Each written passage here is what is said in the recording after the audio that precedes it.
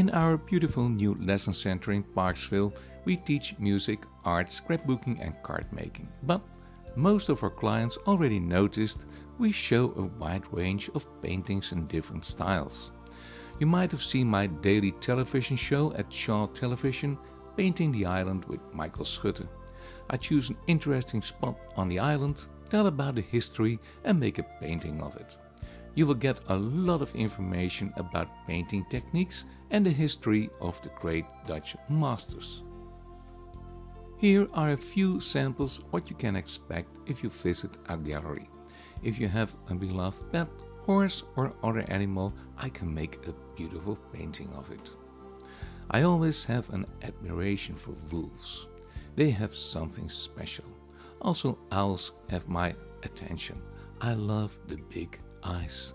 And here's another Tofino wolf. He looks as sweet as a pussy, but beware. You might already know that I donate a lot of paintings specially made for the television show to the North Island Wildlife Recovery Center to support those wonderful people. Another department of my paintings are murals. If you want something original for a kid's room or any other room, then we have lots of cool ideas.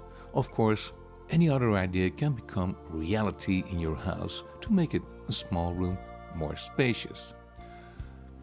If you don't have Shaw TV, you can watch my show on YouTube. Type in my name and it will show up. See you in Parksville.